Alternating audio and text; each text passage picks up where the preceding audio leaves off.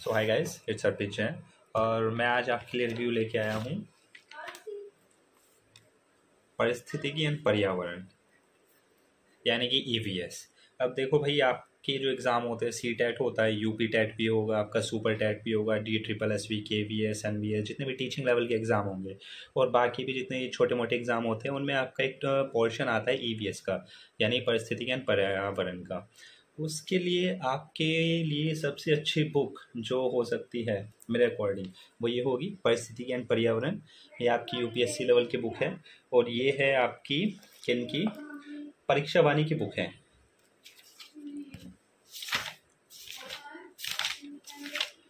आ, इसका इंडेक्स मैं आपको दिखा देता हूँ। इसका इंडेक्स क्या होगा? ये देखो ये इसका फ्रंट पेज होगा। परिस्थिति एंड पर्यावरण। एक चीज़ और नोट करिएगा आप इसमें इसमें एन सारांश। जितना भी एनसीआरटी का सारांश है आपका सिक्स टू ट्वेल्व वो सारा का सारा इसमें मौजूद होगा। जितने भी इम्पोर्टेंट टॉपिक है सारे के सारे इसमें मौजूद होंगे। आ, आपको इसके टॉपिक दिखा देता हूँ ये देखो। पर्यावरण परिस्थितिक पर्यावरण तंत्र सामुदायिक अंत क्रिया जीव मंडल जीवोम कुल मिला के जितना भी आपका टॉपिक होता है सिलेबस होता है सब इसमें इंक्लूड है। और इसमें प्रीवियस ईयर के जितने भी क्वेश्चन हैं, वो भी आए हुए हैं। सभी के सभी इसमें सम्मिलित हैं।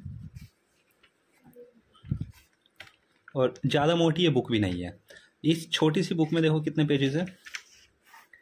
केवल दो सौ छियानवे pages two ninety six pages इस छोटी सी बुक में आपको सभी चीज़ें मिल जाएगी और कुछ भी आपको ई के लिए कहीं से भी पढ़ने की ज़रूरत नहीं है। One book is sufficient for all examinations तो देखो ये दोस्तों, ये बुक इस तरीके से बनाई हुई है। सबसे पहले इसमें थियोरटिकल वर्जन दे देंगे। थियोरटिकल वर्जन देने के बाद इसमें वन लाइनर्स क्वेश्चन भी दे देंगे। और वन लाइनर्स देने के बाद इसमें जब आपका चैप्टर लास्ट में ख़त्म होगा,